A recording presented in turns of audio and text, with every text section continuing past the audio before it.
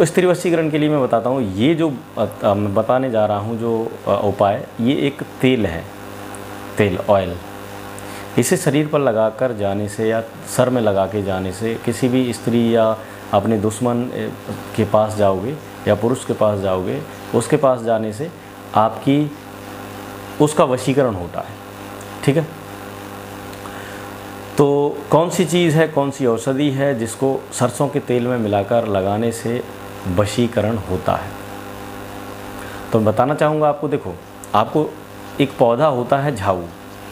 झाऊ का पौधा होता है, समुद्र के किनारे मिलता है और ज़्यादातर गंगा जी वगैरह पे आप जाओगे तो वहाँ पे पौधे अगर कोई बेचता हुआ मिलेगा तो झाऊ का पौधा ज़रूर मिल जाएगा आपको वहाँ। और फिर आपको इधर भी आसपास भी मिल जाएगा। मैं आपको उसका फ़ोटो दिखा दे रहा हूँ, इस तरह का झाऊ का पौधा होता है। अब क्या करना है, इसका, इसके, इसका पंचांग आपको लेना है, पूरा पूरा पौधा उखाड़ लेना है और इसको कूट कूट के मिक्सी में डाल के इसका रस निकाल लेना है आपको। ठीक है? इसका रस निकालने के बाद अब आप इस इसके रस को सरसों के तेल में मिक्स कर लो।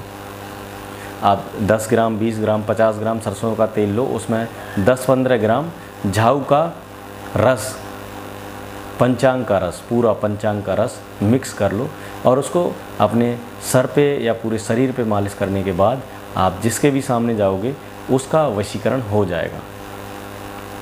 इतना इतना ही था ये नुस्खा। बहुत ही आसान उपाय है। आप अगर करोगे इसे तो आपको लाभ हो जाएगा। ठीक है? ठीक है दोस्तों, अगर उसके अलावा आपको वशीकरण किट चाहिए, वशीकरण रिंग या भस्म चाहिए तो मुझसे संपर्क करना, मैं आपको प्रोवाइड करा दूँगा। ठीक है, चलता हूँ, मिलूँगा अगली वीडियो में, तब तक के लिए धन्यवाद, ख्याल रखिए अपना, अपने परिवार वालों का, अपने घर वालों का। नमस्कार